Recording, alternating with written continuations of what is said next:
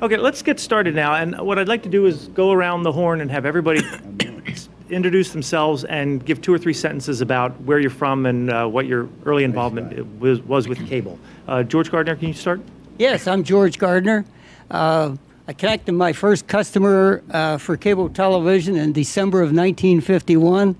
Uh, that's a long time ago, but uh, I did leave the industry in 1999. Uh, Comcast operates the bulk of our systems that we were operating then, and I'm very happy to let them do that, and frankly, I think they're doing a good job. I live in Carlisle, Pennsylvania most of the year. I'm a Fort Lauderdale, Florida resident whenever it gets too cold in Pennsylvania. Bob? I'm Bob Tudek. Uh, I'm from State College, Pennsylvania. I got started in the industry in March of 1965 with Centre Video, a spin off of C-COR. And uh, my partner and I, Everett Mundy, formed our own company, Telemedia Corporation, in 1970. I, uh, I spent about eight months of the year in Florida. I'm Bob Tarlton. I had the pleasure of installing about 35 or 40 cable systems dating back to about 1950 throughout the United States. I live in Lansford, Pennsylvania. I operated originally the Panther Valley television system, a, a cable system that serviced a number of communities I started in. Uh, that system we merged with Blue Ridge Cable, and uh, I'm supposed to be retired. However, I'm on the go all the time, mostly in cable and other historical business. Hi, I'm Irene Gans. My husband and I ventured into cable television in 1954. We built our first cable system in Weatherly, Pennsylvania. We originated in Hazleton, Pennsylvania. We're still operating in cable. And this is my husband, Joe. Hi, I'm Joe Gans. Irene mentioned that we did our, our joint uh, cable system 1954, but in 1950, in December of 50, we delivered our first picture on the Mo- Mountain City uh, cable system, which was in Hazleton. And at the time, I was one of the chief engineer. I was the chief engineer, and we started out with three channels. And after a couple of hard knocks, we got into multi-channel service. But uh, as I say, we had our first picture, the first customer in December of 1950. I'm Len Ecker. I started my first job in 1950, around March or April of that year, for an outfit called Lycoming Television Corporation. I was their chief engineer, and we built a system in South Williamsport, included Montoursville, which is one of the communities close by. And I would like to tell this group here, and I've said this many times, if I knew then what I know today, I would never have got started. Mr. I'm Strat Smith. Uh, my first introduction to uh, this industry, which in those days was known as the community antenna industry, was in 1948 when I was a staff attorney at the Federal Communications Commission. As time went on, I left the commission. I became into the, went into the practice of law, private practice. I became the first general counsel and executive secretary of the National Community Television Association. Uh, from then on, I had a career for 25 years practicing law where most of my clients were cable people. After that, I was honored with the uh, to be invited to take the uh, Cable Center Endowed Chair at Penn, Penn State University, Endowed Chair in Cable Television Studies, and I retired from that position in uh, April of this year. Jim? Uh, I'm, I'm Jim Duratz, and I was part of the Meadville cable system, and I'm the other half of the Barco Duratz family. And I suppose I could say I got started in cable because I married Helene. But it was a nice venture, and uh, I'm very happy I did it. But uh, we're now, I'm now uh, involved with the Pennsylvania Cable Network, and I'm enjoying that very much. Hi, I'm um, John Rigas, and um, really uh, an honor and a pleasure to be here with so many of my friends in the industry and grew up together. And I'm a chairman and CEO of Adelphia Communications.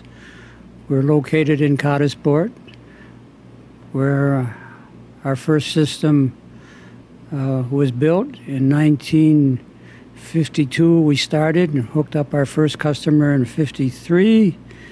And um,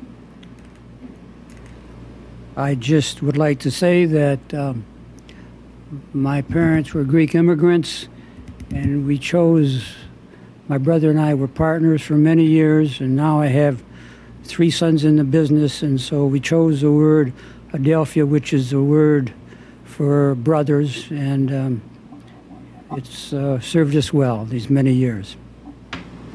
What I'd like to do now is just toss out a question and have anyone who wants to field it take it. And you ought to address your comments to each other and as well as you can ignore the fact that the cameras are here. And, and if one of you says something that the other one of you wants to comment on, just feel free to jump in and, and get the conversation going.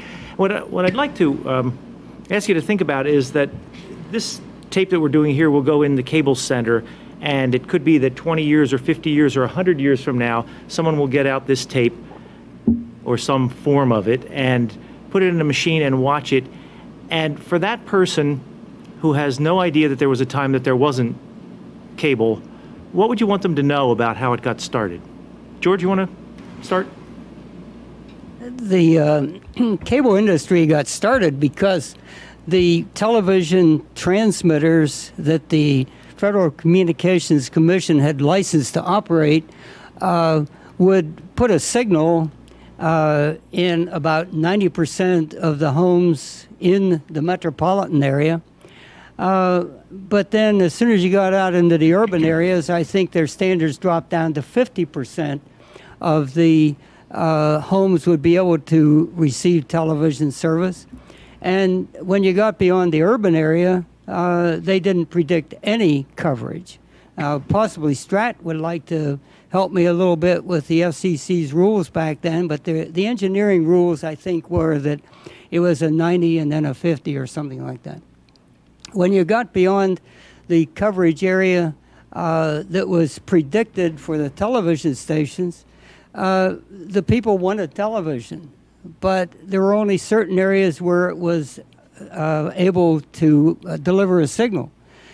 One of those areas was the top of ridges, and that's why Bob, I believe, got started because he was in the television sales, um, the television receiver sales business.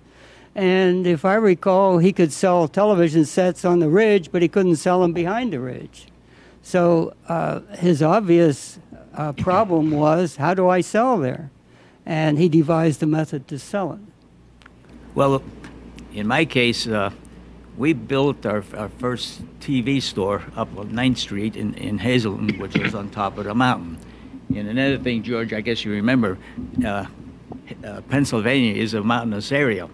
And what happened in Hazleton, the people on the top of the hill were getting good pictures, and we could sell TV sets to certain places, but down, those behind in, in the shadows and all couldn't get any pictures.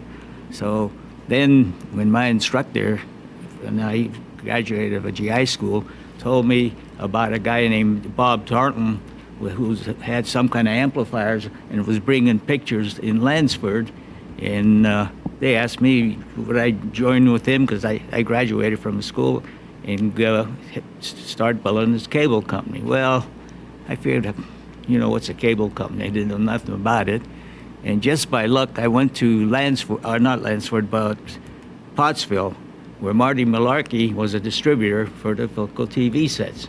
And sure enough, I go in there, and the first thing he said, I had this darn cable that's broke down all the time, you know. But they were just installing the cable, and I took a look, and I said, how in the, if you know Pottsville, that's way down in the hole. How in the world are you getting pictures here in Pottsville? And sure enough, he said at that time was an RCA equipment, which didn't work too good. But then I understand the Jerrold was pretty far along the way, and so immediately we went in. I joined up with the Hazleton Company, and we put in the Jerrold system. We started, and we had problems, but uh, we got it working. And it's quite frankly, we got $125 for an installation and 375 a month, and uh, which gave us some of the money to help build the systems more. And hookups at that time, phew, we had a waiting list. You couldn't hook them up fast enough. The people wanted it. I, I think it's important if you're going people to know 50 years from now why you had to have cable. Is that uh, one of the most important thing is that the television signal that was transmitted went in a straight line. Right. It didn't bend like a radio signal, Yeah. and didn't get down into the hole. Yeah. So you had But to I think you've forgotten the reason why cable really became necessary. That's right. It- the The reason that cable became necessary, and I'll defer to Strat here, the FCC put a freeze on transmitting stations in 1948 for about 10 years, and therefore the organizations that built their cable systems in those time in those days didn't have to worry about competition from off-the-air signals. So that was a big boost as far as the cable industry. I believe it was 1948 when that uh, freeze was put on. Am I right about that, Strat? Yes, that's correct. The FCC imposed the freeze in 1948 because it was experiencing a great deal of co-channel interference. And it realized that the television allocations plan just wasn't going to work. And so they uh, imposed this freeze, quote, for six months, close quote. And it was 1954, not 10 years, four years. It was 1954 when they finally uh, lifted the freeze. Well, in the meantime, both CATV and commercial television got off and running at the same time. Uh, there was at least one and probably several other systems that were operating as early as 1948, very small ones and very tiny ones, which was the year they imposed the freeze. So they had four years of uh, a period when the metropolitan areas had a few stations, and out in the hinterlands, there were no stations. And uh, so there was a four year period when uh, CATV uh, was able to get a good solid start. And then when uh, the freeze was lifted and they began to build stations again, it took a number of years to get them spread out throughout the entire country. And so the, the need for community antenna reception uh, persisted for several years afterward. And that was the climate that en- enabled the industry to get off to uh, a good running start. Well, I'd like to just jump in there and add to that, Strat. The uh, the freeze was lifted, but the um, solution was defective. Uh, the freeze was lifted, and uh, UHF assignments were made. Uh, Harrisburg received four UHF assignments, and uh, the UHF was so poor that it did not get beyond the local area. So the cable television systems were able to provide the signals from more distant stations, but the uh, freeze being lifted uh, merely gave everyone the idea that the uh, problem had been solved when actually just another problem had been created. Well, up in Hazleton now, is when they lifted the freeze, and we got UHF stations, you remember Channel 28 and 16, and they did not come into Hazleton any better than the Philadelphia stations, because UHF, as you mentioned, as bad as it is for the V, which just strictly line of sight, it's even tougher on the UHF, because that doesn't fit into the holes. So when they came on the air, they didn't bother us hardly at all. But you also must remember that television sets in those days were unable to receive UHF. Yeah. So in order to have UHF, you had to have a top of the set box. Converter. So in 1962, the FCC gave Jerrold a contract to do a survey in New York City with regards to the feasibility of UHF versus VHF. And fortunately, I got to be the project engineer on that job. I spent a year in New York City. We built a station in the Empire State Building on Channel 31, which, by the way, is still there and is used by the city of New York as WNYC. We also put a station on top of the, Empire, the uh, George Washington Bridge, Channel 77, which never worked, Bertha Darn, so we didn't bother with that. But we did 5,000 locations, 2,500 in Manhattan and 2,500 within 25 miles of, of the Empire State Building. And in those 5,000 homes, we would do a test as to how good the UHF channels were, and we compared, compared them to Channel 4, which I believe is NBC out of New York, and Channel 7, which is ABC out of New York. And we did reasonably well, and in fact, I had 100 black and white television sets and 10 colored sets made by RCA, which we used as the purpose of that test. And based on the work which we did in New York City in 1962, I believe it was 1965, and by the way, the, the uh, mentor for that particular system was Robert E. Lee, who was a commissioner of the FCC. And by the way, his name doesn't come from Robert E. Lee, the general, but rather from uh, Robert Emmet Lee, who was an Irishman. But anyway, based on the survey which we did in 1965, I believe that's the year, the FCC mandated that all television sets would have to be all channel receivers. So that took away the top of the set box. I'm, I, am compelled to um, uh, address the question. Ryan men- uh, mentioned a question. Um, uh, insofar as um, the early days, uh, everybody, I say everybody, but uh, anybody affiliated with the possibility of television uh, wanted to get television down in these primarily isolated areas.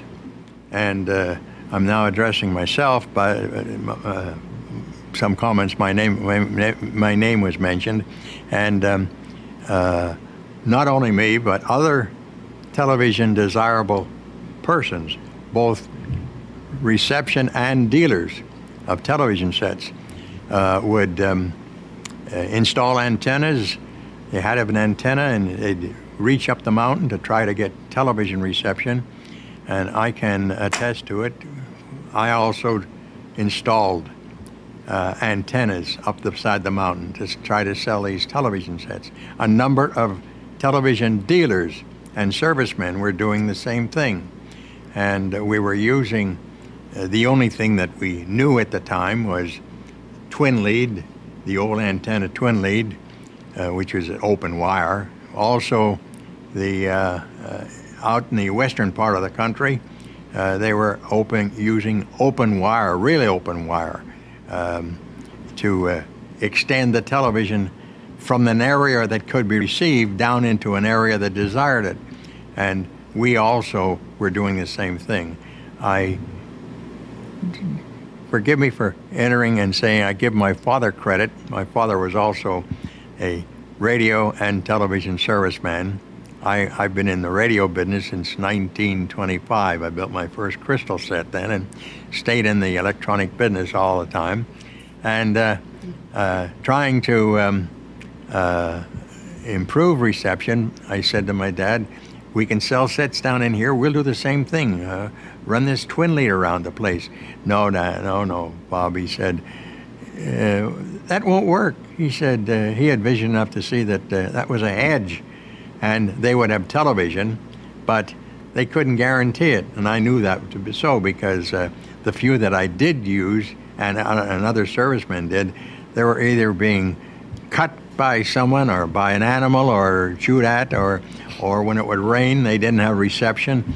And as a result, uh, there was uh, very distressed customers. My father would say, we can't afford to give me, people money back. This is no way to sell television. You sell what you can off of antennas off the roofs. Don't try to extend it. Well, little did I, didn't listen to him. I started experimenting with this antenna. But the point I wanted to make was, um, uh, I, I do I do some public speaking primarily to children, and their question was goes way back well, didn't you have any radio in those days? It's been 25. And I said, no, I had my first radio, which I built. So I owned it addressed 50 years from now. people who say, well, wasn't this always here? No, it wasn't always here. And uh, I'll sum it up by saying what got me started was experimenting with coaxial cable, which was impervious to destruction, and impervious to um, interference, uh, supposedly, uh, and um, that uh, that was the beginning of um, cable thing.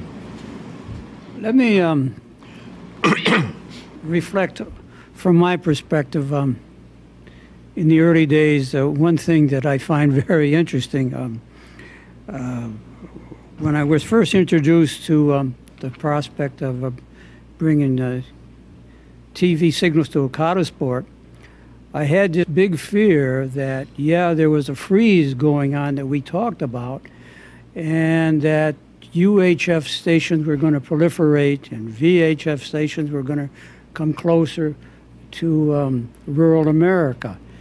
And what I um, find interesting is here we are 50 years later, that if you live in Coudersport, Pennsylvania, and you live in 80% of our community, that you still can't receive a VHF signal or a UHF signal. Uh, and all these fears and thoughts that stations were going to happen in certain parts of America, it still hasn't happened. Irene, is there a story that you would like to know that someone 50 years from now would hear and, and get an idea of what you went through? I have a lot of stories.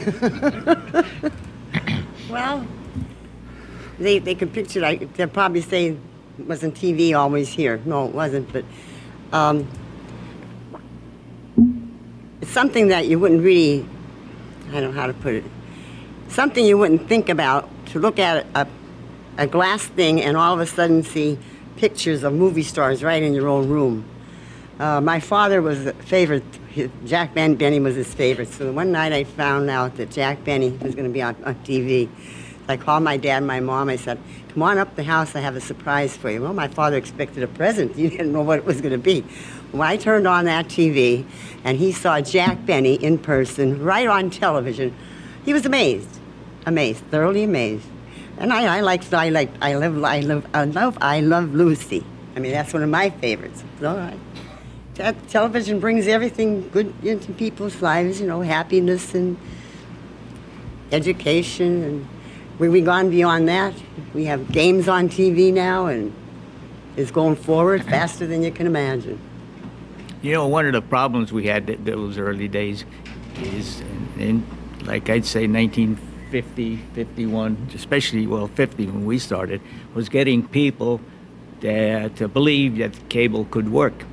And fortunately enough, we had uh, the Coryell family, which was wealthy in, in um, the coal business up there. And the one night was up, and like I say, I lived on top of the hill, and I was able to get the oh, the New York, New York and Philadelphia stations, and there was a fight that night. And so, and he, oh, incidentally, before that, he tried the local radio uh, owner, radio station owner, Vic Deem, to get it financing. T, the Tito family, which was big in television, tried to get financing from them, and they, they, they had no faith that it, it'll never work. So anyhow, I invited the Coryells up to my house, and had the TV set there, and it was a fight that night. He figured, holy, he said, how do you do that? I said, well, I got a, at that time, I guess about a 35, 40 foot tower on top of the house, and I was able to get the pictures. and then that's when Tris Lucian talked to him. He said, well, why don't we do like Lansford is doing? They're running a coaxial wire down the mountain. They have, uh, and he mentioned Jerrold amplifiers at the time, and they have pictures in Lansford, and that's really, you know, down behind the mountains. Till today, there's no, no signals down there. And sure enough, they invested the money, and believe it or not, we got our first picture in Hazleton. And again, uh, they put up the financing first. We made them believers that there is cable and so forth. Then, as we got the picture into town, there was all you had to do was put the TV sets in the window, and people were signing up as fast as we can get put them in. Uh, Bob Tudek, can you start a conversation on what kind of obstacles you had to overcome? I mean, if you think about it, technical, regulatory fights with um, telephone companies or broadcasters? What, do, what springs to mind as the kind of hurdles you had to get over? Well, first off, I'm, I'm the real rookie here. I started in 65. My partner started in 56, but these guys got started in 48, 50, 51. But they're all, they've been talking about electronically deprived areas. But you see, uh, when I got into business in 65, uh, that was true even then, and there was no cable in the metropolitan areas of the country. There was nothing in Washington, D.C., Baltimore, Miami, Chicago, Pittsburgh, Philadelphia, St. Louis, Phoenix, Houston, Dallas. All of those were built far later. And I think they were just starting something in teleprompter Manhattan in 65 and 66. And they were doing something in San Francisco and perhaps San Jose and maybe somewhere else, I don't know. But I convinced our board of directors three weeks after I started to let me try and get a franchise in Glassport, Pennsylvania, which was in the metropolitan market of, of Pittsburgh. And I, I, competed against KDKA and Westinghouse, who were already in the business. People don't know that, but they had 35,000 subscribers in 1965 in Georgia. They were Valdosta, Georgia. And I not only beat them 18 contests in a row, but got 33 in a row against just about everybody, including Time Life, who were in the business. And I beat them in Penn Hills. And I got 69 franchises out of 75 contests. And and my contribution is not the rural and electronically deprived areas, but bringing cable to the metropolitan areas. I think to this day, there are more higher penetration of cable TV subscribers in Pittsburgh area than there are in any of the top 25 markets in the country. And matter of fact, there's one system today, or will be when it's finished. AT&T has a system with approximately 400,000 subscribers on one master antenna. And the thing that I'm proud of is that when I was getting these franchises, I gave them all the blue sky, all the things that are happening today. But I told them it was blue sky. And I predicted that one day there would be one system and it would, they would be doing the things they're doing today. But I told them that was a long way off. And it's come to pass. In response to the question that you asked, I'm sure everybody around this table will remember that in the very beginning, the telephone company wouldn't permit you on their poles at all. If you were going to use a pole system, it had to be a power system because Bell was no way going to let you on their telephone poles. But in addition to that, you mentioned the fact that there was a fight with the broadcasters because the broadcasters used the cable industry as an outfit that was stealing their signals and paying them. And that's where the word community cable television came from because we really didn't supply television pictures. What we did was remote the individual's antenna. And that's how cable got its original name, was basically on that premise. So yes, there were a lot of legal fights in the very beginning, fights with telephone and fights with the broadcasters as well. 1966, AT&T informed all of their subsidiaries not to grant any further pull attachment agreements. Uh, maybe people remember this because they were going to redo their agreement. so there was a period of one or two years where you could not get an agreement from any of the Bell companies. And at that time, some of the independent companies refused the deal, and there were people who were putting up their own poles, putting cable on trees and fences I remember one guy coming to me in, in a little town called Howard. He couldn't get a pole attachment agreement from an independent telephone company, and I, I had the presence of mind to tell him, go check to see their franchise. These franchises that the phone companies have are usually for 50 years or very long. So happens their, the franchise was about to expire or had expired for the phone. They hadn't known it.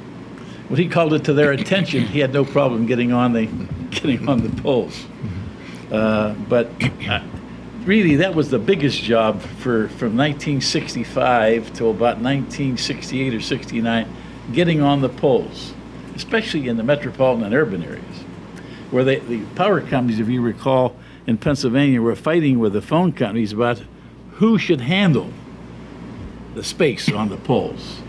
Uh, the power companies actually owned most of the poles, but the phone companies believed that they had the right to rent the communication space. So then there was, again, a fight between the two of them, and there was a holdup because of that. On that subject, you may find interesting, I just related, just this very day, um, a story about uh, AT&T. Uh, I wanted to get on AT&T.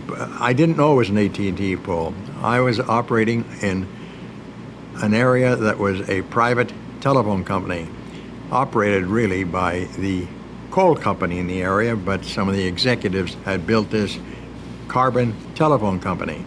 Uh, it serviced the Panther Valley, Lansford, Summit Hill, Coaldale, and the whole area. And um, I must give credit to some of those people. They, it was easy to get cooperation with, as an example, this is one of the examples, with the telephone company, because I told them my idea. I, what I want to do is build a system, cable. Geez, that'd be great. They gave, what, what can we do to help you? they were inviting me because they wanted television. The same thing happened. That's how I, uh, my attorney got so interested. He lived in Summit Hill. I had sold him a television set, was building a home in Lansford, and said, Bob, what, do you got, what am I going to do for television? I said, I'm getting this idea. Hey, I'll, I'll give you all the help I can. I said, lots of help. Going back on this one, I wanted to get on a few poles, and I thought it was, I, we always call them the telephone poles, but it happened to be an AT&T long, long line that came in from somewhere and down into Lansford. So uh, what happened was uh, uh, the um, the uh, uh, local boys, the telephone president said, uh, "We've got to contact for you to get permission on those. We've got to contact AT&T." I said, "What? Why? Why them?" I didn't know because they have jurisdiction over those poles. So as a result, they set up a meeting and uh, I already had made the attachments because my early days with the power company, I had cooperation with the vice president of pole attachments, who happened to have been a friend of Marty Malarkey's, and he heard about what I was doing. He came over to see it, and he ran back and told Marty Malarkey, "Hey, that's what you can do in Lansford." And he told me, make attachments to the poles. Give me the pole numbers and I'll get on. So he was cooperative. They were anxious at that time, was 1950, to get loading, power loading. So they, and they used to sell television, things like that. So at the same time, I had cooperation from the power company, made these attachments and later on made the pole agreements. But uh, with, the, with the phone company, they said, you go ahead on the poles, but you're going to have to go below us. You can't go above. Everything was below. That was the early days where our some of the system that I had built there was below. Well, that created more problems to get clearance spaces, but but that's what that's what they said. And they said we've been in touch with AT&T uh, to ask if there's any foreign attachment uh, specs that you might have, and they said we don't know what they're doing, but we better come up and look and see. They did. I entertained the vice president of, I always call him pole attachment for AT&T. Came up from Wall Street office, and he brought along three or four other engineers. Spent a day up there looking and see what I was doing.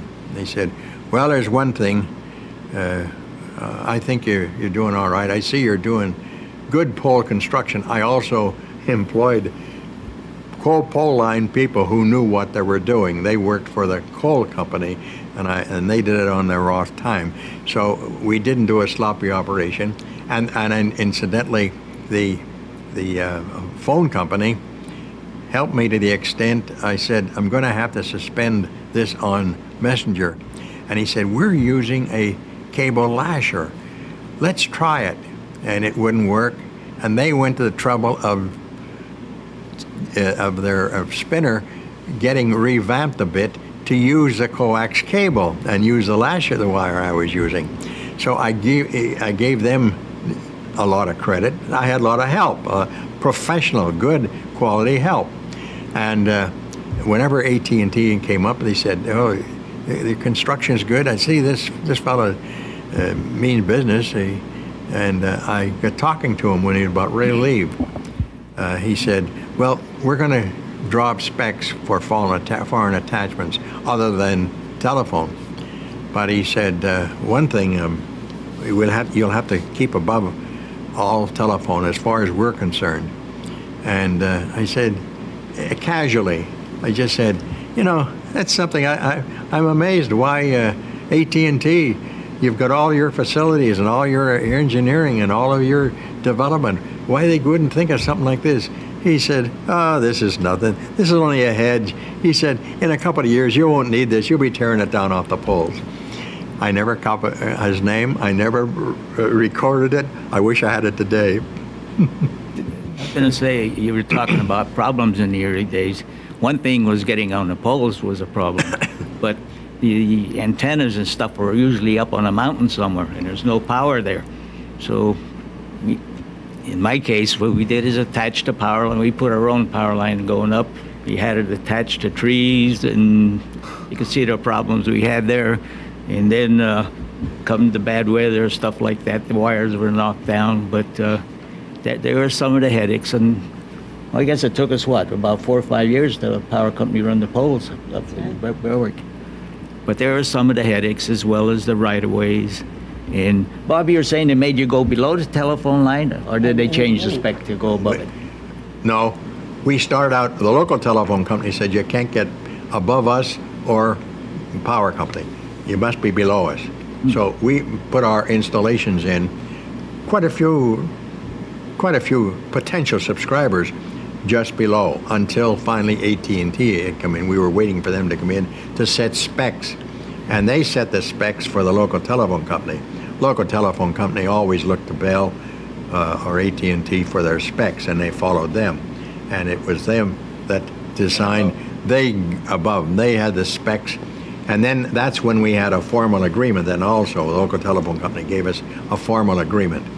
And as a matter of fact, uh, uh, Bob LaRue asked for one once, and I sent Bob LaRue, that was one of the NCTA attorneys.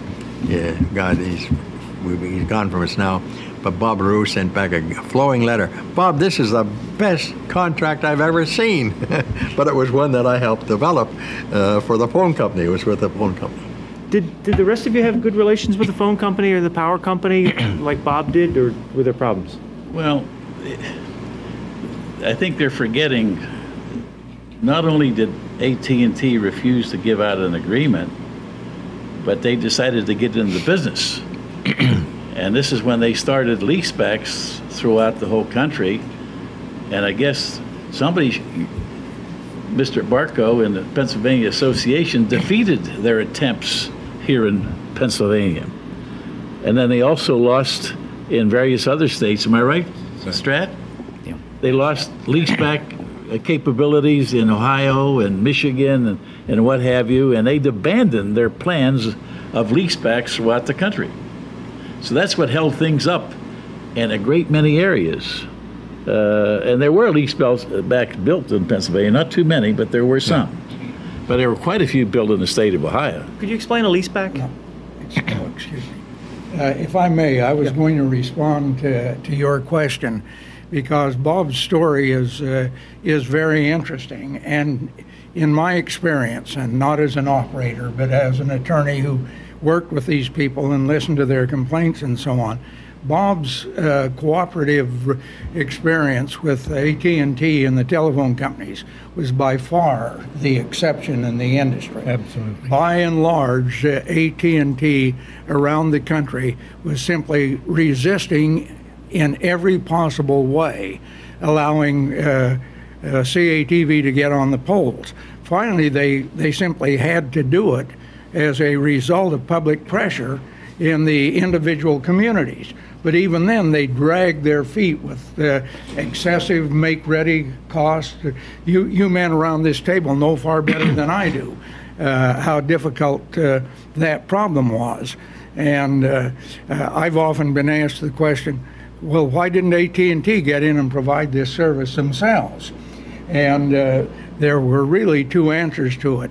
Uh, the first was that this was the end of World War II, and they had a telephone backlog that took them 10 years to catch up with, and they simply could not address, uh, assign their resources to that.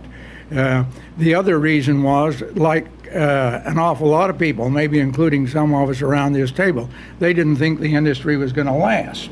And uh, they didn't want to uh, invest their uh, resources in it. But uh, again, I will repeat uh, Bob's experience, to the best of my knowledge, is an exception. Uh, and uh, uh, he was very fortunate. May I just um, punctuate that by saying this was back in early 50, and by 1951, late 51 and 52, the uh, telephone companies immediately became antagonists. Not the power companies, the power companies were cooperative because they were glad for the load, additional load. But the telephone companies were giving, whenever I went with Jerrold, that was half of our problems trying to get it, uh, particularly up in New England.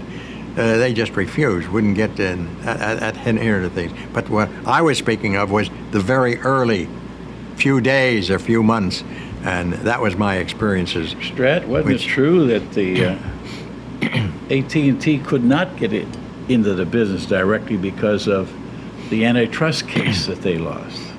Well, that was a number of years later. That's right. Uh, I'm just addressing the, the time, the immediate early history of the industry. Yeah, Yes, there was, a time came when at and T agreed not to get into any business for which they didn't have uh, uh, public utility tariffs on file with appropriate regulatory commissions. But- But that was later on. Yeah, but, but they did try to get it leasebacks.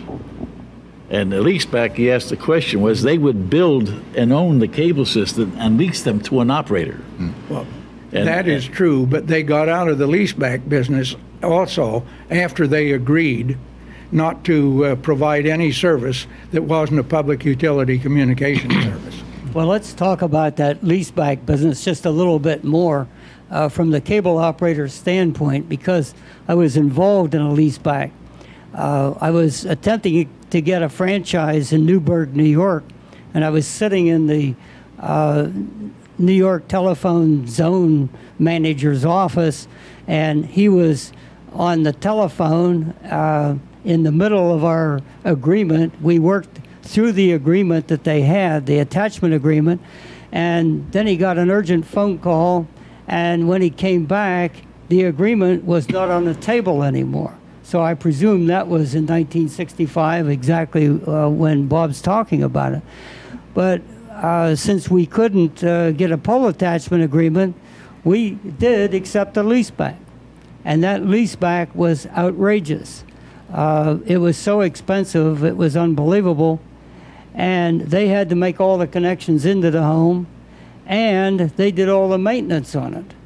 And if you had a service call and you went to the home and the obvious problem was with the telephone company system, uh, if it was before 8 o'clock in the evening, they would respond on double overtime or whatever their rate was. I've forgotten what they called it, but it was outrageous. And if it was after 8 o'clock in the evening, they would come out the next morning. So it was obviously very antagonistic uh, to uh, the customer. Uh, the cable operator had a terrible problem explaining to the customer, yeah, we'll be back tomorrow, and that type of thing. But uh, aside from the leaseback, I'd like to just go back to something else that Bob Tudek touched on there when he was uh, building in the Pittsburgh area. Uh, John Rigas and I built a system in Uniontown, and uh, we had a unique situation there. Possibly you can help me with this a little bit, John, if I forget some of the details. Uh, and, and I also want to mention one of the details about the equipment. So uh, when I get through with this, I'll mention that. Uh, we had uh, very good cooperation from the television stations in Pittsburgh, believe it or not, because they found that they had to operate translators. Pittsburgh is a very difficult town to get any sort of television off the air in, or was at that time, because it's just a bunch of valleys. And so the uh, television stations had built the translator system which ringed Pittsburgh. And they found that it didn't work much better than the off the air signal that they provided and gave them all kinds of problems and extra costs. So they encouraged us to build that system in Uniontown because then it could uh, take their translator off the air, but they wouldn't take the translator off the air till we were able to supply the service. Remember that, John? I sure do. And I think uh, they were encouraging the other operators to get rid uh, of the translators uh, in the same way. So that probably helped you and Jim Palmer out there and some of the franchises around Pittsburgh. In addition to that, one of the unique things about the Uniontown system was it was built with a Starline 1 that Jerrold had come out with.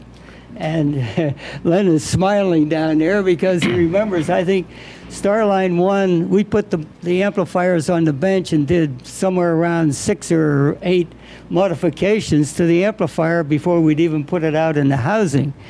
And I can recall John uh, and I had a terrible problem uh, with the tra- the SLE, the line extender. Uh, we put them up in the summertime, and as soon as it started to get cold in the winter, why the trans the uh, line extenders all stopped working. They had a big capacitor that didn't work right, and so most of the town blotted out where the extenders were, and it was a little bit of a frantic situation to try to figure out how to put a capacitor onto those line extenders because nothing would fit in the case. So we put spaghetti tubing on the leads that went into the amplifier and stuck it outside. And I imagine we radiated a little bit of signal that that was before the FCC started to even look at radiation. But we did a little bit of non uh, ionic radiation there. But uh, talking about the business of the television stations or the networks not cooperating with the cable systems, CBS was the main group that that CBS network that really didn't like cable operators. If you would request permission to carry a CBS signal, the television station that move. Carried the CBS network was required by CBS, I suppose, to write and say, we are not authorized to allow you to use our signals. But strangely enough, in Scranton, the CBS outlet WDAU was very interested in getting on all the cable systems. And we did a lot of work with them putting up uh, equipment at the various cable systems so that we could translate their signal and actually get it so that it would run on the cable system. So it was uh, not all of the networks were against cable, and certainly not all the television stations were against cable. Most of them were very appreciative, especially in the UHF regions of Pennsylvania, to get the extra coverage that the cable system provided. May, may I say that also, uh, the reference to WDAU reminds me that WDAU wanted to get on our system, and I kept saying, there's the problem we had. It has limited channel capacity. I said, you've got to make it attractive enough for us to make some changes because we, we had one or two New York channels on there. As a result, uh, they say, well, what do we do? I said, well, I suggest you go on later at night. They had a daytime and up until about 11, 11, 12 o'clock at night, and they'd go off. Make it attractive enough. I'm not one to take credit for it, but I suggested to them to do this and uh, run all night if necessary. Run, and they did, and that was their success. They also would call me and say, "Bob, that was a good idea." We're now getting better cooperation because people are late at night want to see television. The other stations don't have; they go off the air. We're on all night, and that WDAU was progressive in that in that respect. Yeah. Most of the stations signed off around 1.30. Uh, they would have uh, late night news around 11, then go into a Today Show, and when a Today Show went off the air, why, they signed off. Well, unlike most of the people around this table, I'm not an operator and have never been an operator. I'm basically an engineer.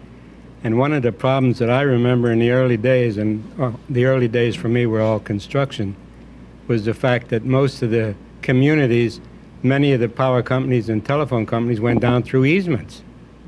And they had a franchise which, which permitted them to put cable down the easement. But the people who lived in those homes didn't think the cable operator had a right to go down those easements. And I recall in the early days being held up in construction because somebody said, You can't cross my property line. And I learned later on that the reason why we couldn't pass his property line was because he wanted television, but he didn't want to pay for it. Mm-hmm. And we had a lot of those. They all tried it. In addition to the problem on the poles, about the time I got in the business is when the FCC took over the jurisdiction of cable TV. You might want to talk about that, or some of you. You remember when the FCC decided to take us over? They had a big battle. I think the head of the committee in the Senate was Oren Harris. Well, it uh, it was a big battle, and it lasted for several years, and uh, the uh, FCC at least twice before they uh, uh, decided to undertake uh, jurisdiction had ruled that they didn't have any.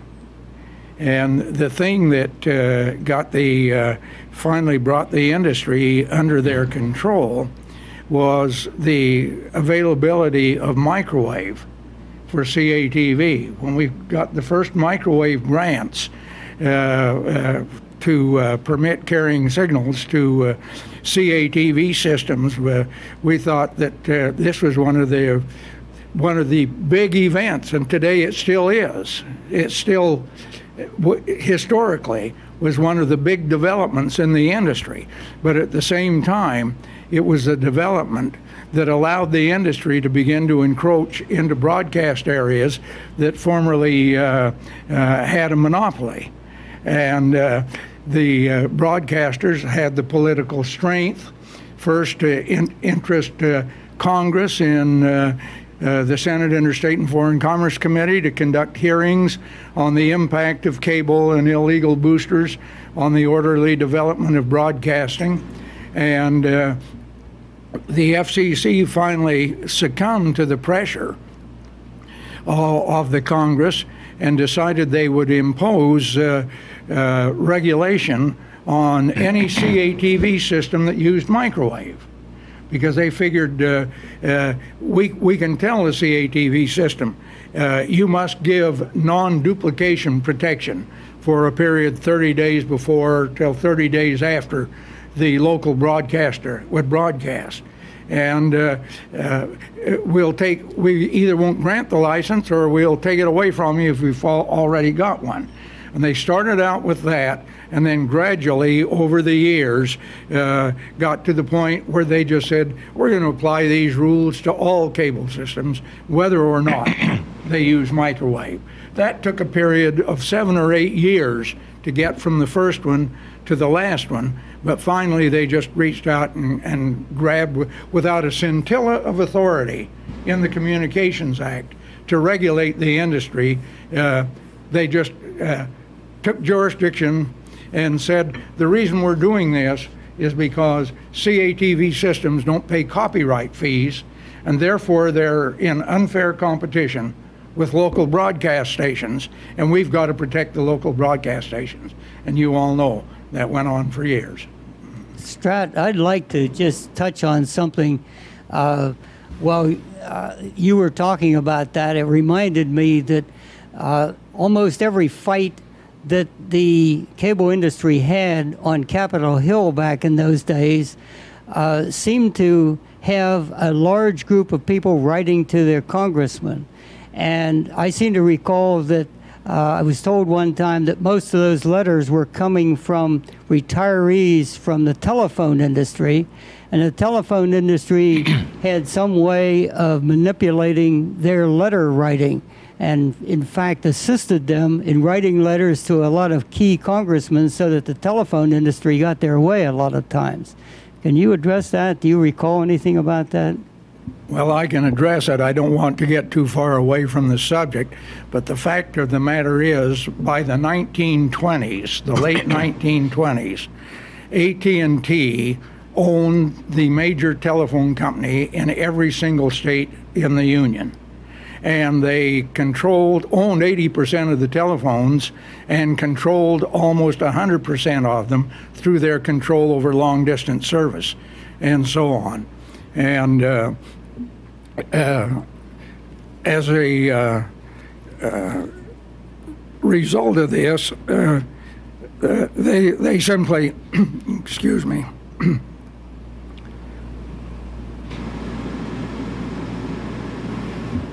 I apologize for that. Uh, as a result, uh, uh, they were able to uh, completely dominate the industry. Well, in, in addition uh, to, to that problem, uh, excuse me, we had the problem of, of the copyright suit, where we couldn't get bonds and we couldn't get insurance because we were facing uh, multi-million dollar in we were Nader uh, they, who, who was the lawyer Nader who was the, the lawyer that they had represented all the copyright owners Yeah, Louis Nizer. Louis Nizer. I know it started with an N. And uh, when I, we went to get bonds, uh, we couldn't get bonds unless you went to Lloyd's of London because we were facing all these uh, claims. And you played a role there uh, in that lawsuit where we, we won that suit before the Supreme Court. And enabled us to get, get rid of the liabilities of the, of the copyright, potential liabilities of the copyrights. Well, I was involved in that litigation, and I didn't complete my answer oh. To uh, George's question. I had a senior moment while I was coughing and forgot what it was I was trying to say.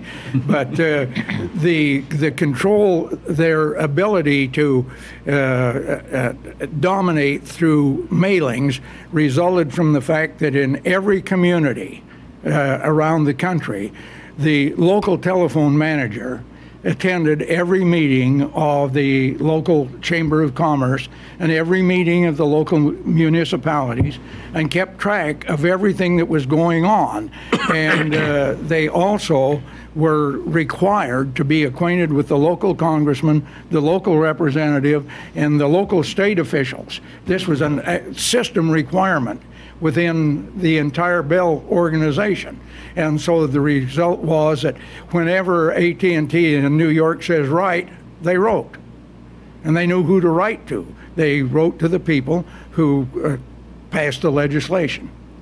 Can I change gears a little bit here and ask each of you to, to take a turn in looking back to the day you flipped the switch on your first cable system and the first pictures went to people's houses, what the atmosphere was like in town, what you heard from people in town, how the newspaper reported it, what the customers said. Can you, John, can you start? Well, I think that, um, you know, um, it's hard to, um, to find the words uh, that uh, when you brought that signal down to that first home and you saw that picture light up, uh, the excitement that the customer had to think this was a miracle. They were sitting in their living room and receiving a picture in this little rural community of, of uh. And um,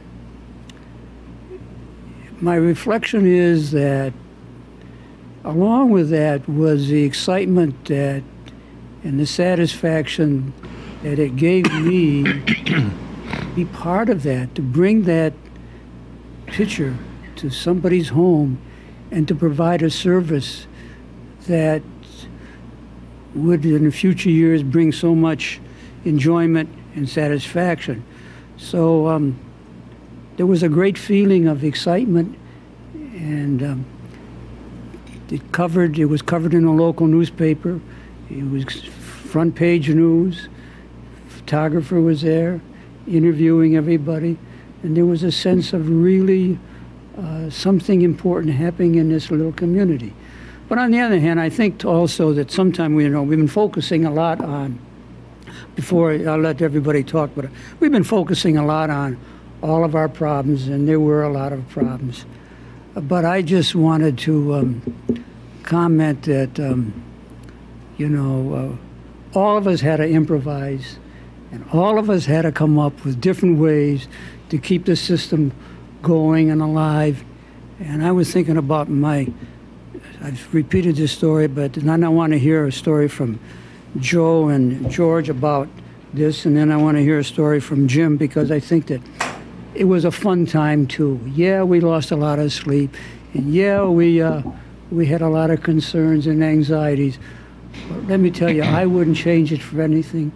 I was so fortunate to be it there and be part of all this. So, and I'm thinking about when we built our second cable system in my hometown in 1954, and my brother and I, and we had the Jerrold engineers, and uh, we went up and we were offering five channels, and uh, that was the state of the art. And the picture looked good, and but at the bottom of the hill, my parents lived, and we checked it out. Picture looked great, and we were ready to go, and we were going to give it to the customers. That night, I got a call from my brother, and I said, "What's the matter?" He said, "Well, the picture's just gone to all the snow." He says, "I don't know what the matter is," and we just every night Gus would call me up and say the picture's bad. Daytime it looks good, and we called up the Jerrold engineers, Frank Martin. I don't know if Manny was part of it. We all checked it out. We did everything possible. After about 15 days, I got a call from my brother, and my brother said, "Well," he says, uh, "John," he says, "got it all figured out." I said, "Well, you do. The picture's good." He says, "Great." He says, "I said, what happened?" He says, Well, mom used to turn on the front porch light at 7 o'clock every night and it shorted out everything. So it was as simple as that. And that's how bright we were. now I'd like to hear a story about Joe, if I can, and the shotgun. Yeah. Talk, talk about Smart we problems. were. You know, and like I said, Hazleton was was a Yankee town, and we put up a, a stack of antennas, actually 64 antennas, and sure enough, in the springtime, the ball games are just starting. They're practice and this and that, and the people are watching the games. Everybody's happy, and this time we're at, we're at a different antenna site than the original, and pictures were pretty good. So come springtime, we get a good rainstorm, and sure enough, the darn thing's all iced up. The, the tower iced up, the the wires and everything. You know, me and Charlie Gicking are sitting up there. How in the world are we going to get these pictures back? So we got the brainstorm, and nobody wanted to climb it. They were up about 50, 60 feet. So we, well, we'll try. Maybe with a shotgun we can clean, knock the ice off. and some of you heard the story, but it's the truth. So we get a number six shot, shoot at it a couple times, nothing. The ice just stayed there. I said, well, let's try a number four shot. Maybe that'll do it. we shot the number four, and still the ice didn't come down. So I'm trying. Well, maybe maybe a number two will definitely do it. So we're shooting half a box of shells, and the thing never did ice up. And oh, incidentally, now when you, when you ice up, you retain the picture, but you lose the sound. It cha- change the characteristic, and you lose the sound. So then we got the bright idea. Let's try some buckshot. That's if that don't do it, nothing will. So the first round, me and Charlie both shot together. Pow! We blew the antennas away. Not only didn't have no sound, they lost the picture too. May I address that? Uh, as a matter of fact, the question did arise. Um, I had the first public display was in in town uh, in a storeroom. They set up a television set, and it made an announcement: if you want to see television, go downtown. And uh, I've just located some photographs. As a matter of fact, I'm doing research for the history of Carbon County. I, they call on me because of my age. Bob Bob Tarlton know all about this, so they go back to Bob Tarlton. And uh, I got involved a year and a half ago with the historical group from Carbon County. They have had four editions starting 10 years ago uh, of the county, and they gradually moved up, and now they're in our section, and they're doing some work, and they saw me about a year and a half ago, and they wrote something. we have something in there about you. And as we were discussing it, they started to discuss some other things about department store in town, and, and a photograph of me was in this in this recently. And uh, they said there's a, two Tarltons in there. And uh, I, I didn't mean to inject this, but it, but it, it's it's interesting. And uh, they said, "Are you any relation?" And I said, "If it's a photograph I knew, it's Bright's department store, and I'm on there. You are no, it was 19, um, uh, 1928. I said I was in high school and worked there, and my father's on the bottom there. He was the radio repairman, and I helped him. I used to put antennas up in 1928 for, for Bright Stars, and uh, uh, so that that that's how I got involved trying to find some photos. I've got for the last seven years, I've had a warehouse. Actually, it's, it's an old apartment I'm paying rent on with all this old history that I promised everybody I would get together one day. I haven't got to it. I'm starting to dig through. I found this one photograph, there's a couple there, of a photograph of um, taken inside the storeroom of the crowd outside watching television. so I, I have that, and plus the fact that uh, it generated uh, national and international interest in late 19 uh, uh, late uh, in uh, 1950 1950 and in early 1951 some radio fellows here might remember radio news the radio news magazine they came through Philco, and there's a lot of misinformation in there because they said Philco developed this. It was Jerrold, but it was a Philco public relations fellow. 15 pages, come down and took photographs through the whole thing. That generated information. That did because it, radio news went around the world. It's a monthly magazine.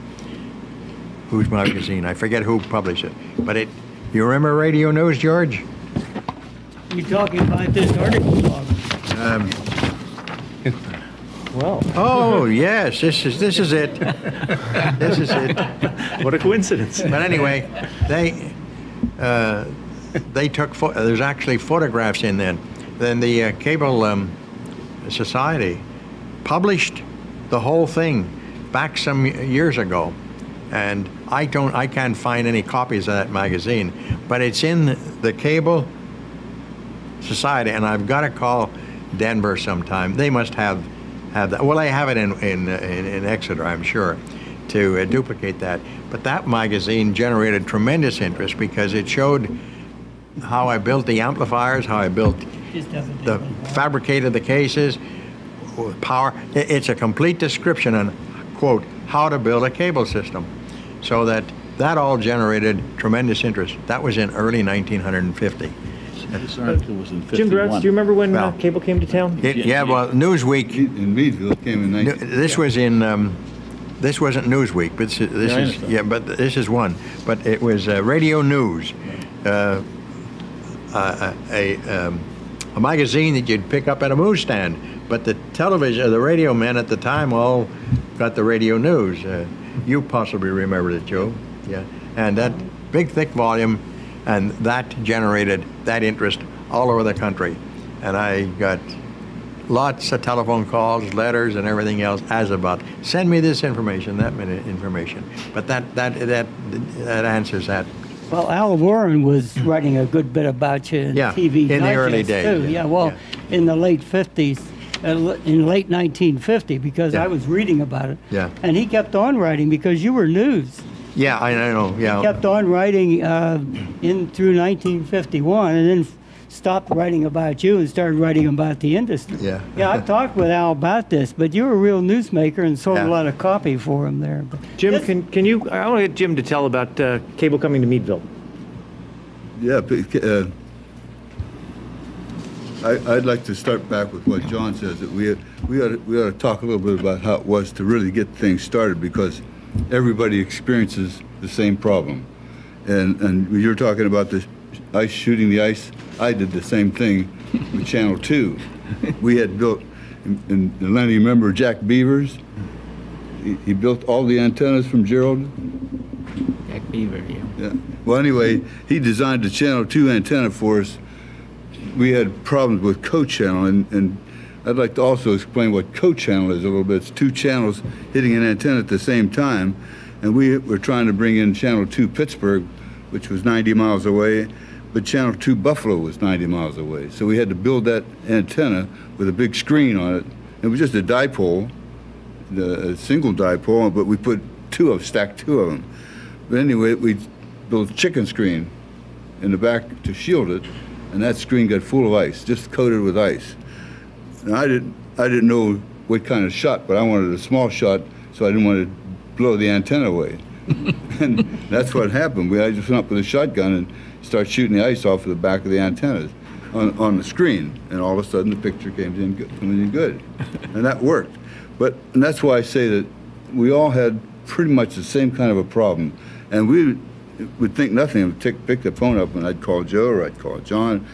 I'd have this problem, and oh sure, we did that, Yep. and worked it out. And and uh, that's what I think was very unique about the cable industry and the people in it was that they we were all friends. We all knew each other personally. We all and helped didn't each other. hesitate to ever call, and and none of them would not take the call. Except John, sometimes wouldn't he think it was a bill collector. Well, John had to serve up the hot dogs in between the calls. Uh, Not only, not only that, but I think I had the reputation from not paying my bills in a timely fashion. oh, now, John, you wouldn't do something like that. We all had problems paying our bills. Well, But that's you know, not- I'd like to hear Jim's story about you. You told last year uh, Christmas and how hard because I think it's reflective of how hard we work to try to keep the systems going, About provide coffee? service. about the coffee. Yeah, give him that story. We, we, we were, this was, see, I'd like to go back and start and say how we went three channel, five channel, 12. But anyway, we were building the, I guess, 20 channel system then. And it was aluminum, all aluminum cable and, and the fittings. Here again, experimenting with everything we did. Uh, it was one Christmas Eve, the fitting pulled apart and we lost a lot of pictures. And Christmas Day, we had to go out and work. We had to, all the crews out working, trying to get this stuff put back together. And in Meadville, you, trying to find a cup of coffee on Christmas Day in Meadville was pretty tough. And I didn't have time to go make it, but I, I thought I, I'll, I'll get them a sandwich and keep them going. But instead of coffee, I had got into making some wine at one time. and my wine looked like black coffee. so I filled the thermos bottle with wine and I took it out and, and started pouring the wine in paper cups. And everybody would grab the cup and start thinking it was a hot cup of coffee. And as soon as it was wine, they downed it. so it helped. We got the problems corrected. It, it was pretty funny. But does, those, were, there were, those weren't unusual things. We did a lot of things like that. You know, I you think- talk about the first picture is uh, when we uh, first put the system in Hazleton in right down off the heights, well, actually off the second amplifier. You know, we turned it on, the pictures look good, and everybody's happy and this and that. All of a sudden, the mayor of the town calls us up in council. He said, "What what are you people doing to the television on the heights?" And I said, I don't know, what, what's wrong? He said, he gave us numbers. He said, we ruined all the reception on, on, the, on the antenna services. And uh, sure enough, I go up the heights there, and they weren't getting really good reception, but they were getting some reception. And here, the cable was leaking. The line between the amplifier and the ADO box, it was leaking. So Jerrold sends up an engineer. He's there, boy, all week. He's writing. I figured, oh boy, this guy knows this stuff. He's gonna fix this. Comes Friday, he said, "Yep, you got radiation." Gets in his car and drives away. So, Talking about that problem, Joe, that was one of the reasons the FCC got hot under the collar. One of the perfect examples of that occurred in Harrisburg, Pennsylvania, when a U.S. Air, well, it wasn't U.S. Air in those days, it was Allegheny Airlines. Mm-hmm. The flight coming into Harrisburg Airport lost total communication with the ground. And when they finally solved this particular problem, it was because the the uh, AGC channel on the Jerrold amplifiers in Harrisburg leaked and blocked out the ability of the the airplane to receive signals from the tower. And I spent a full week in Harrisburg that year repairing every amplifier by moving the AGC frequency to a frequency which would not interfere with the Harrisburg airport. Well, the way we fix it though is uh, Tony Katona came up, and what we did, we disconnected, started disconnecting cables. We had a guy in the house there looking at, at the pictures. Because actually, we put a big black bar, oh, about three quarters of, across the picture. Was, the cable was leaking, and here we found was a cable, like I mentioned, between the ADO box and, and the amplifier. And what Tony did, he we took a piece of a telephone line, the lead line. We pulled the copper wires out, and we put the RG59 in there and put the connectors on and phew, stopped it. But this is the cooperation we had with Jerrold and different operators and so forth. I have a radiation story, just thought of it right now. When, when we were building this, remember the galvanized boxes? Yeah. You had to put the amplifiers in the boxes, put the boxes on the pole. We were building the system in the southern part, in the lower part of Meadville. And as usual, when you start putting cable up and boxes on the pole, people think you're interfering with their signal mm-hmm. for their antennas. So we had the boxes up and the cable in, and we got a report that the FCC was coming down to do a, do a radiation check from Buffalo. And they brought these big trucks down with millions of dollars of equipment, and they started doing the radiation checks around this area. And it came back zero radiation. And what they didn't know is they didn't go up and look in the boxes, they were empty. so we got a very excellent report on radiation. And there were a lot of engineers that couldn't understand that. they never went up the pole to open the box to look in it. They knew there was radiation there, but they just couldn't find it. But it, it, those were those were all a lot of a lot of interesting problems, and, and, and there were times when when the people from Jerrold would come and we'd- end up going to the antenna site to work out a problem. Next thing you know, it's breakfast time. You just work all night. You never stopped until the problem was corrected. And, and, and I think that was kind of unique with, with the people in our industry back then. I think it was just a, a love that John talks about that you wanted to see the results of trying to make that picture come down that line. And, and, and, and I felt the same way. I, I, I remember the first time I saw a picture off of the satellite. And, and I what a thrill that was. And, and those are the kind of things that never want to make you quit. You can't, you're afraid you're going to miss something if you quit. And, and, uh, and it's, it's a lot more sophisticated now. I think, I think when we, when we first started, almost everything that we did was, was experimental. You, you got equipment from the manufacturer, you knew what, what it was supposed to do, but rarely did it do it. I think today you pretty much know when you whatever you get, it's going to work, and, and That's right. I think those experimental things were very good to us. What kind of a work week did you work? Oh, round the clock. there was no, if the TV is off, I mean, you don't go home because that telephone will drive you nuts, whether it's Saturday, Sunday, midnight, Christmas, Easter, or whatever. Those pictures were life and death. They'd murder you if them. You didn't, they had to have no pictures. You're in big trouble. And you just kept working until you got pictures of that. Phone would drive you completely out of your mind. It never stopped ringing. Our customers would get irate. They're missing their news. They're missing their favorite program. My kid wants to watch Hatchie Malachi. Uh, Why is it off? Or my afternoon program don't. Oh, Well, Irene, Joe would come in the door and say, well, I've fixed these, and you'd hand him another batch. Is that the way it works? Hatchie Malachi. Did customers get like that right away? Where as soon as they had cable, they immediately got hooked on it and they Oh, yes. got mad if it wasn't Well, there? Absolutely. Oh, yeah, yeah. They loved cable. They still do. I don't know what you do without cable. That's that's Again, as whole an engi- lifetime. again as an engineer rather than an operator, I didn't have to worry about PR. So in my com- particular community, the first system I built, everybody called me Mr. Television.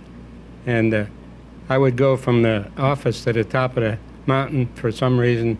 I'd get stopped half the way up, and somebody would jump out and say, "Hey, the cable went off last night at eight o'clock, and I waited until two o'clock in the morning, still didn't come back on again. What are you going to do about it?" I suggested to them that maybe they ought to write a letter to the FCC, and if they didn't want to do that, why don't you go get your television from somebody else?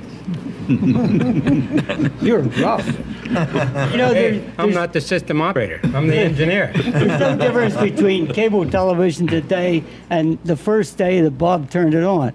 There's just more channels, there's fewer interruptions, and there's better picture quality. It's just an evolutionary problem. How many channels did you have when you first turned it on? One. Three. We had three. Yeah, I, I didn't have that luxury. Where was your system? Do you want me to do my spiel on it now? I mean, Yeah, uh, we'll bounce to this end. One channel? Uh, Actually, uh, I've got to go back a little bit beyond that because I cheated a little bit on the industry. Uh, I uh, actually was a ham radio operator, amateur radio operator to most people, and operated W2DBR. I lived up in the Finger Lakes region in New York State, worked for a, an outfit called Sylvania Electric Products Corporation, and we built picture tubes there for the television sets. And uh, as a sideline, uh, I built mini CATV systems. I didn't know that's what they were at the time, but the dealers in town, in Geneva, Waterloo, Seneca Falls, the whole area, uh, we were about 35, 40 miles away from Syracuse, which was our main uh, television area. You could get some signals from Rochester, but they weren't very good. And when they would sell a television set, the deal was if I get pictures, I'll buy the set. If I don't get pictures, take it back. So whenever they put their regular antennas up and didn't get pictures, I cut a deal with them. I'll provide the pictures. So we took what we call were the tough nuts. And I started that in early 1949, but I don't claim to be uh, uh, the first in cable television because it wasn't that. But it was it was a mini cable television system geared to that one set. We either used high antennas or antennas that were not located on the property. And of course, uh, being a ham operator, well, I was very used to the balanced transmission line. That's what they call railroad tracks uh, when the cable uh, system uses it. And in fact, you don't use railroad tracks anymore, but West Virginia was paved with railroad tracks for a lot of years because that's the only way they could get signal around to the various homes. Uh, but we used railroad tracks. Uh, we uh, did everything. George, you better explain what that means. They might think you're a real railroad track. Yeah, well, it was open wire transmission line, a balanced transmission line as compared with coaxial cable, which is an unbalanced transmission line. It's but- little spacers that made it look like railroad. Is railroad. this what they call the Yeah. G, the G line? Yeah, no, no, this is even different than G line. That's a surface wave, which you know we haven't touched on here, but I, I sold a good bit of that too. Uh, but the the problems we had back then were if you had a water tank or if you had anything that a house was behind and they couldn't get signal direct from the station, you had to devise some way to do it. That's what the cable system does today. But going from that, where we took those tough problems that were in the uh, area where the television signal actually was located, and then moving it out further where there was no television signal and you had to go up on a mountain or something to find it. Uh, I finally got interested in what Al Warren was writing about Bob Tarlton, and in early 1951 started to build my first system. We turned it on in December of 1951, and we had one channel. That's the only one I could find in the area. And uh, it was difficult to get people interested in one channel, especially when the fact that I had a signal at the antenna terminals of 100 microvolts, which, as anyone that's been in the business for a while knows, was probably not enough to make uh, a good picture. But you could see people moving, uh, shall we say, on the television set, and you could hear it. And uh, it wasn't a quality signal so that people would really come, like some of these gentlemen have said, and really knock your door down to uh, want to buy it. Uh, I had to do a little bit of educating to people, and it took me about six months before I could get the dealers in town to actually stock television sets. And I did that by stocking them myself and saying, if you won't sell the television sets, then I will. What did you charge for one channel? Uh, it was a $145 installation fee. I just checked that in my reference material here, and we charge $3.50 a month. You ask why 350? Why a dollar 145? Well, I think that's what Bob was charging, and I just copied him. Is that about it? And We, I go, asked- we, we charge the same price for three channels. They got a better deal from us. You're exactly right. I would have charged more if I could because it was a little difficult to sell. But I asked Bob one time, why did you charge three dollars and fifty cents, or was it three dollars or three dollars? I started with three dollars. Everybody, $3? everybody else that came in would say, "I'm going to charge those three fifty, and they finally moved up to four and five dollars. We were still, and I was stuck with three dollars. I was afraid to raise it anymore because of the customers. And finally, my board says, "Bob, you're starting to get tight in here. You better get your rates raised." So that that's what prompted But I me. asked you one time why you started with three dollars, and What? you said that's what the telephone company charged. I think that was what Did the I say telephone that? company. Yeah, Well, that's what you told me. The telephone It was company kind of an charged- arbitrary. As a matter of fact, I must confess, I think I checked in Philadelphia what the um, apartment houses were charging. They were charging a rental also, and it was somewhere about a one and a half or two or three dollars a month for this, and uh, and the three dollars is what I arbitrarily. It was an arbitrary figure, and the installation was a hundred dollars. But nobody else went a hundred dollars. Said, "Oh, we're gonna get more," and they all did get more. But I charged a hundred dollars until many- a couple many- of years later we went and disbanded that rate. We went to a higher rate and only charged a minimal installation fee. Yeah, go ahead. How many channels did they get for three dollars? Uh, in the beginning, it was only two channels. Soon, Channel 10 in Philadelphia came on, three channels. And then about a year later, um, when I changed the antenna site, a better site on the other side of Summit Hill, and didn't go through Summit Hill, still battling with them. As a matter of fact, I, I built a complete telephone, a complete line, and um, we, um, we then had uh, five channels out of New York. Joe, you charged how much for three channels? 375, And the hookup charge was how much? hun- 100 and a quarter. I I should, I should explain, whenever I was building for the Capital Group in Williamsport, Glenn was across the river, across the creek, building on, was it West Williamsport? West, West. South William. South Williamsport, building a system there.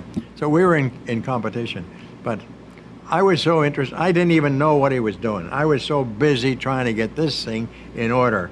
And, um, but uh, later on I knew Eric because then he came with Jerrold.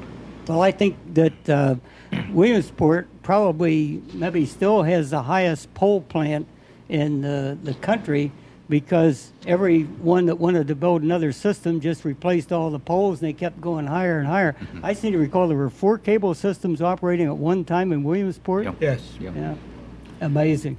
When they were One of the things that nobody had mentioned with regards, we talked about getting on the poles. There's something called the National Safety Code, which determines uh, what you can do on a pole. And the positions on a pole are specifically spelled out with regards to the voltage being carried by the power company and the telephone companies as well.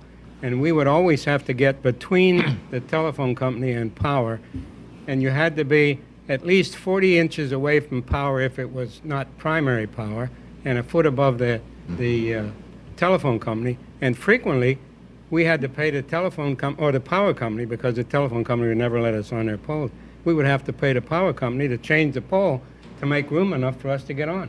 Many areas. I want to find out from Jim and John what they charged and how many channels they uh, had in the beginning. $125, 350 a month for three channels.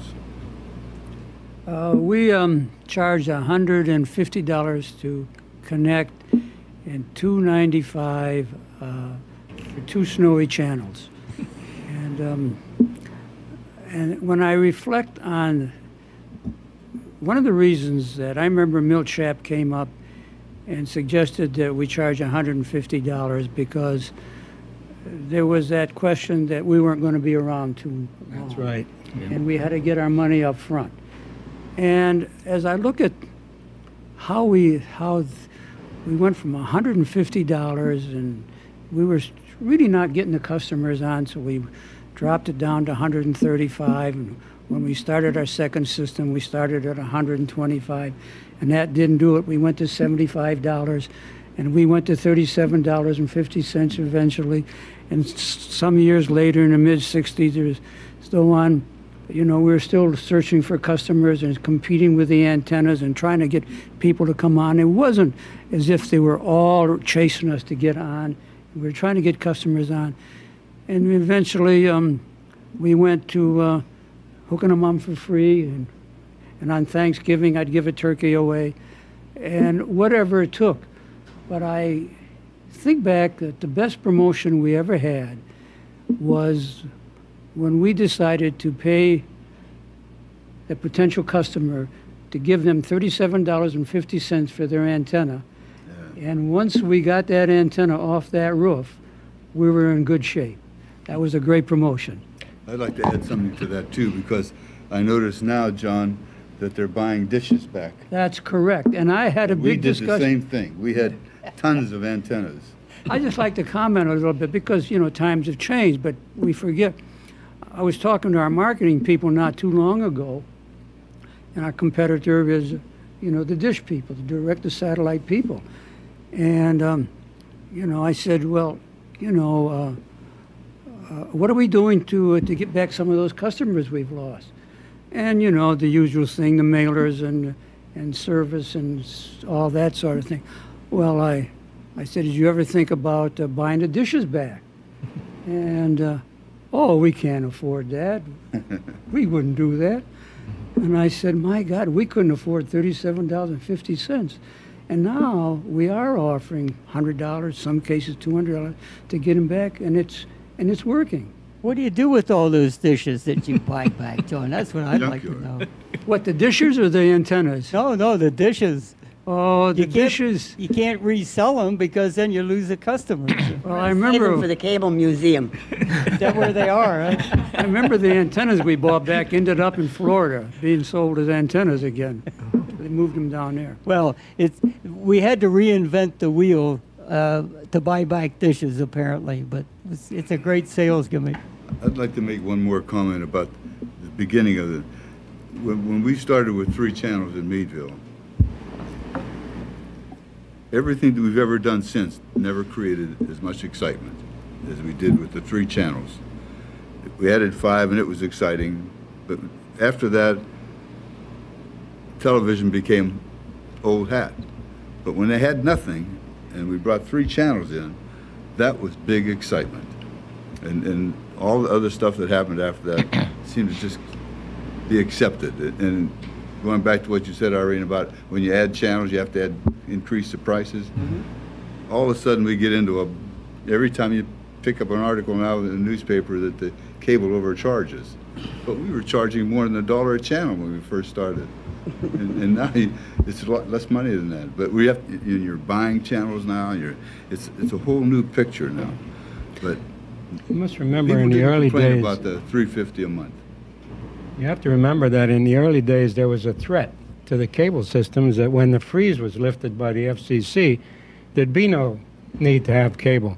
And that fear was very rampant in Jerrold, which was the major manufacturer of cable equipment at that particular time. And in fact, the president of that outfit, Milton Jerrold Shapp, decided that, hey, he wasn't going to be in the cable industry after the freeze came off. And so he bought uh, Carmen, Harman Kardon, uh, who made uh, hi-fi equipment. We bought uh, uh, uh, a radio manufacturer. We bought an equipment manufacturer. We made our own zinc die casting. We did our own plastic die casting, and that lasted for about two years. And they all disappeared, and we went back into the cable industry. At what point did you all feel like you were out of the woods and you, your company was no longer in danger and that cable was really going to survive? When you could pay your bills. When was that? Well, it depended. Uh, some systems started to pay their bills sooner than others, but I can remember uh, some of the systems that uh, I had uh, a problem getting the financing for, shall we say, and the interest rate was a little bit too high, and it took a much longer payout for those, and I wondered about even bothering with them. But when you're trying to sell two or three channels, uh, you've got a difficult time convincing a large portion of the eligible subscribers to actually pay you a bill. Remember, the penetration that the cable industry started to enjoy in the 70s of anywhere from 60 to 90 percent uh, was not something that you had back in the 1950s. Uh, people didn't have the money for the television set, and if they didn't have a television set, they didn't want cable. So you had very low penetrations back at that time. Addressing uh, your question, uh, my experience would be that um, uh, that that was only for the first couple of years, and as this looked as though it was something that could supply a utility purpose, that disappeared from cable operators. The cable operators were enthused; they were growing and building. So um, uh, there may have been uh, other financial people that uh, felt, well, this is only a hedge. But my experience had been that that that disappeared over a period of, of a, just a few, the first few years. Well, at least we're going to get television. There's going to be more cable. There's going to be more television signals. And may I just make a comment? And thank you, George. I want to see about this. Yeah. I knew I had this some one of this. Newsweek, 1951, January 15th. Newsweek describes the sensational new community antenna system, and it's all about the Lansford system. Starts out uh, huddled be, behind, behind the hills, surrounded Panther Valley. Televiewing viewing in Panther Valley. That was in 1951 as a result of the publicity in 1950 that, that Well, you mentioned, widespread. George mentioned penetration in, uh, like we built the early 50s, and then in the 60s, 65, 66, we hit 70% penetration. And when you hit 70%, why, we were, well, she, she paid the bills, but uh, we were able to pay the bills and uh, update this, uh, the system. We increased our rates a little, but, but penetration was the number. Yes, well, at, uh, in the 60s and 70s, it started to climb up. But in the 50s, I don't imagine any system had over 25, 30% penetration. Uh, I mean, that, that was a system that was really going good because most people didn't have the television sets. And then you had to screw up with the color sets.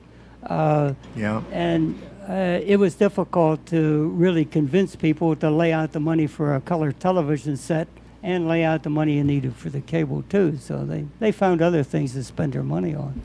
Yeah, but every time you wanted to upgrade and you had to refinance, that wasn't exactly an easy thing. Matter of fact, there were only a few banks in the country that actually gave out a true cable TV financing.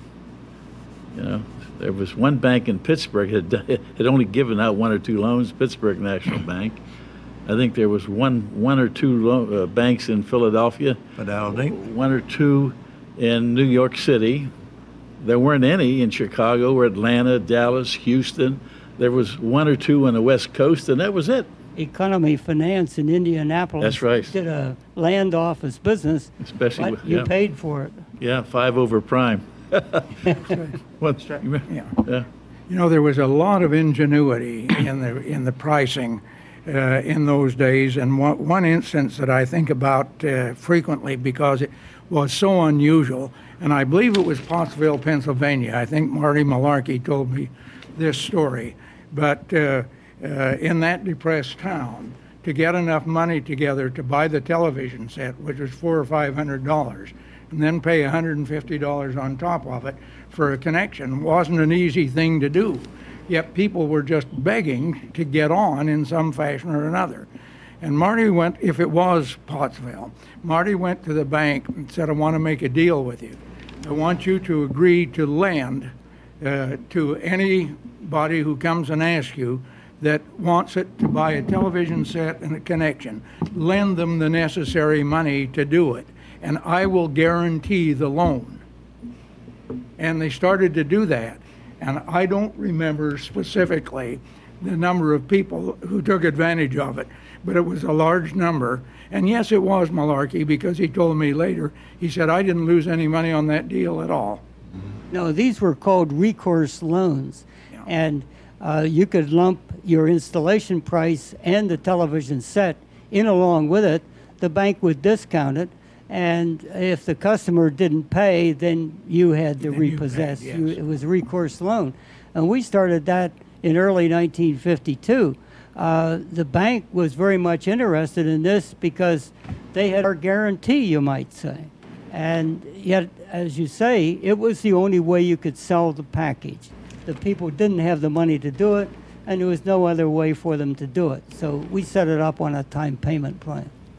Brian, can I comment on one thing because I don't know how much longer we've got, but you know, uh, we've touched on a lot of uh, interesting things uh, that occurred in the early days, and uh, one is certainly the um, the issues we had with AT and and I, think we have a sense of that, and the broadcasters, and um, we um, one thing that we haven't touched upon that has always been troubling to me, and that is in the 60s when there seemed to be um, a future in cable television because of microwave. Uh, and uh, as you went to search for franchises and you look for the communities with six feet antennas or 10 foot antennas, and you looked as a good prospect, they began to have a little competition between who would get the franchises in the community. And as a result, the municipalities began to um, dictate what would be in those franchises. And one of the most horrendous, most difficult moments, in, in my opinion, in my lifetime in cable, is, and I, with no offense to any community, but they began to regulate our rates. And you talk about hand in hand and humility as you would approach a community, you know, and you would add channels and rebuild your system. And you would go in and ask, at the time we might be getting $6 a month, and we'd ask for a quarter more. We couldn't get it. And that was a terrible position to be in. And thank God when the cable began de- deregulated and pretty much in 82, we started to go down that road and we started to have the money centers be really interested in building the urban areas and suburbia and satellite was in play. It's a different world. And then we got regulated again in 92. It was a very dark day. And now we have competition, and I hope I never see the day when I have that situation where regulates, or rates are regulated. And every time you do that, you stymie an industry and growth and vision and entrepreneurship. John, the comment you made about microwave is very true because that opened up a whole new aspect for cable. One of the largest cable operators in the business, TCI, actually came out of out of uh, mid uh, mountain microwave. That was their beginning of, of TCI, and the, the whole East Coast, up and down the East Coast, got into the microwave business from Atlantic City on up and down with an outfit called Prism and that was all microwave. And that really opened up the industry to more and more channels that were desirable channels, not duplicates of the channels that were already on there. So microwave had a big impact on cable. Warren Fribley uh, certainly did a good job with was Penn, Penn microwave, Penn, Penn service or Microwave. something like- yeah, uh, in Lower New York State. He was in Horseheads, New York. Horseheads, yeah. Yeah. All right, yeah. From Corning, New York. We only have a couple minutes left, and I want to get each of you to, to talk a little bit about some of the people, just a couple of the names of people who, who helped you out and uh, helped you get through all the, the problems you had to get through, and uh, are not at this table today, or who are no longer with us, and whose names should be mentioned. Uh, George, you want to start? I have to think about that. Uh, someone that helped you that's not at the table. Who do you think's names should uh, we should not conclude this discussion without talking about? Oh, okay. The fellow that helped me most was a gentleman named Frank Dilker, and he operated Schuylkill Electric Distributors in Pottsville, Pennsylvania. You probably remember Frank. Uh, he carried me on his tab when I was bankrupt and didn't know it until I could start to pay the bill. And whenever I would run out of supplies, I'd go down and uh, Frank would give me uh, another reel of RG59 or some other equipment he might have. And uh, I'd give him a check and say, hold it till next week. Then I'd use that wire and go out and make another connection. Then I could make the payment to him. So Frank really carried me, and uh, I think I owe uh, my being able to still be in the cable business, or at least as many years as I did, to Frank. Bob? A couple of months ago, I went to my dentist in State College, and he mentioned that Jim Palmer, who had hired me, was in the day before and mentioned that uh, he had prob- probably six months to live. He had cancer. And so I went home and wrote Jim a, a real fine letter because he hired me in spite of the fact that I had absolutely no experience whatsoever in communications. He didn't want anybody with experience. I guess he, he didn't want to retrain anybody. Uh, everybody around this table knows that Jim was a very unique guy in, in many ways. But he hired me and gave me the opportunity, uh, and I've you know been very very fortunate. It's been a wonderful ride, and uh, I certainly am beholden to him. And not only did he hire me, but when we left, and all these franchises that I got were for Jim, you know, in, in Centre Video. And when we left the former owned company, Jim on two occasions loaned us $5 million that we didn't have to serve for two years. And so really I, uh, I am indebted to him and, and hope that really there's some mistake and somehow or other he can stay with us a lot longer than the six months. Bob Tarlton?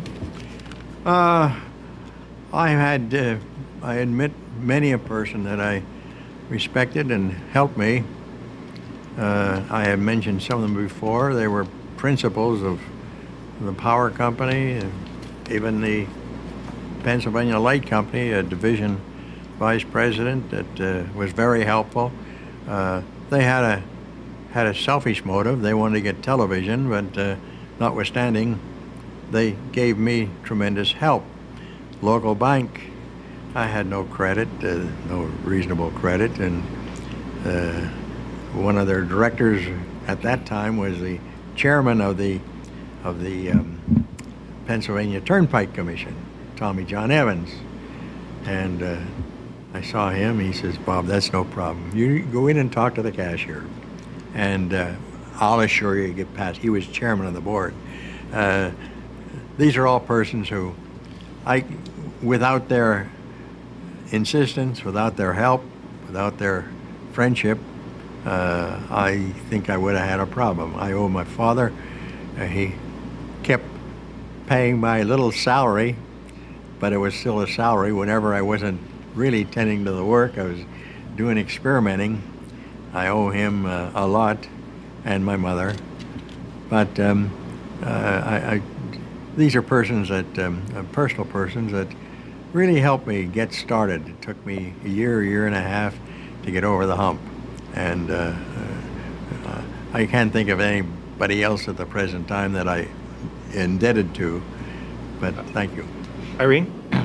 Well, my sister and her husband had loaned us $5,000, and that's how we got started in cable TV. So I speak for them.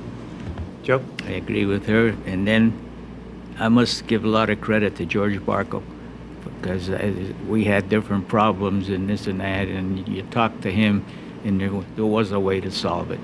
And uh, and another one would be Jim Peters from the uh, First uh, Chicago National Bank. He gave me my first big loan, which I was able to buy the Northeast Cable. But George Barco, Yolanda, I remember that we had trouble in New York and uh, New Jersey that we were building the systems. He came down there and we we fixed it. He knew how to do it, and so he was quite a man, really good. What? Well, there's one name that I'm sure has affected everybody at this table, and that's the ex, the ex-governor of Pennsylvania, Milton Shapp. And uh, he was my guy. I worked for him.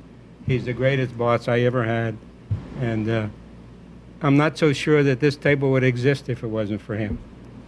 Because in reality, Milt literally created the equipment which got this whole industry started. Strat? Every operator who's sitting at this table is included among those that helped me get my start. Uh, They were all pioneers in this state. Two others to be mentioned, Len Len just mentioned Milton Shapp. The other was Martin F. Malarkey, uh, who organized the National Community Television Association and arranged to get me hired as general counsel for $200 a month. Jim? I guess I have to mention George Barco. Oh, well, the Barcos He too. was, on- yeah. he was my boss. Yolanda also helped me a, a great deal. And then, of course, Helene was my right hand. John, you get the last word. Well, you know, this is a very um, sensitive and it's, you know, um, sometime if we ever have another period in our lives where we can gather, I just like to focus on people and personalities because there's so many things that we didn't cover and I'd like to um, acknowledge and pay respect because along the way, when you take this journey, there's so many people that touch your lives and mean so much. And it's not fair to signal out. So, but I will say this, you know, yes, on a general basis, you know, my brother Gus, that was my partner and supporting for many years, and certainly my sons now that have carried on the business and done an- a wonderful job. But if I'm going to focus in on the people that have no longer amongst us and deceased, I think it'd be a little safer grounds. And so, the ones names I would mention would be Milt Shapp, because he was truly our general for many years, uh, led the way, we believed in him, and he did vendor financing and everything else that went along with it. Then a name that wouldn't mean much to hardly anybody in this country. We will never make the headlines was Joe Conwell that would come calling on us month after month and try to solve our problems and give us that extra equipment. Just a salesman that represented Jerrold. But I tell you, he was a blessing when he came around because we had so many problems. And that doesn't mean that all the Jerrold team and everything else that, but that was special. And then I think of John Walson, who, uh, when I was depressed and down and out and discouraged, John Walson would be there and always tell me why there was a future in cable television and why he believed in it and how passionate he was. And by the way, if you want to sell it, your system, I'll buy it. And that was encouraging and reassuring. And you know, and the Barcos, because how hard they fought with so much integrity and and believed in a cause and believed what was right and just justice. They fought so hard for this industry. And I have to think of Irving Kahn, who was a wonderful visionary that took this industry and to places we never thought of. And lastly, I have to think of Bill Daniels, who, the godfather of this industry, introduced so many different ways to do things in this industry and took risks. Some were good and some were bad, but he was always a leader and the tallest tree in the forest, in my estimation. And so those little notes that Bill would write me and the phone calls he would get to encourage me. And then I would read the headlines where he started a brokerage firm, Hurry Solar System. All that led to um, great support. So I can't, you know, people that are still living, I, I don't want to, you know, the Ted Turners and their, and uh, John Malone's and Amos Huss. I could go on and on, and I wish I had time to give them all credit. God bless them. And all the little bankers, all the big investors, all the people that made this industry what it is. Can't thank them enough. I think we'll end on that note. I want to thank you all for being here. Thank you very much. We'll have to do this again. My pleasure.